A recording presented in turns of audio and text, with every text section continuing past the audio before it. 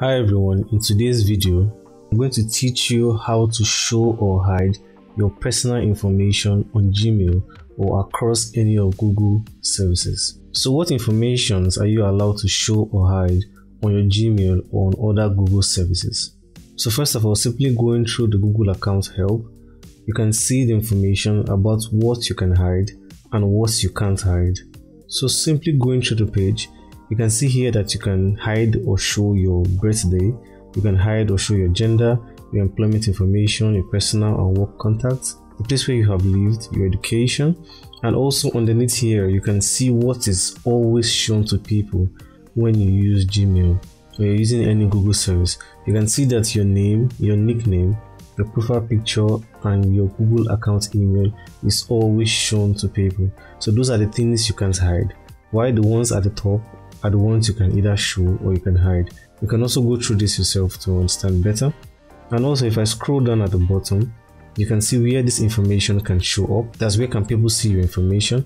If I just simply click on this, here you can see the places where your information can show up. So you can see on contact service like Hangouts and your Gmail, and you can see for other Google services like your like the map, the Play Store, and YouTube account. So now to change the settings to hide or show the personal information allowed on Google for you to change, you can simply open up the Gmail app.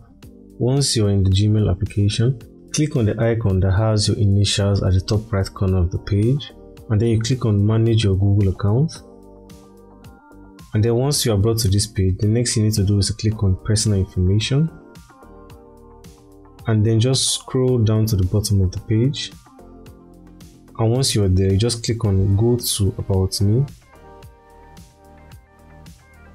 and once you're in the about me page you can see here we have two icons at the top of the page saying only you and another one saying anyone meaning that if you have the first one selected that information is going to be shown or kept for only you.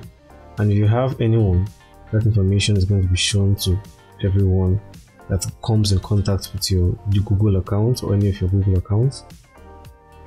And then scroll down a little bit.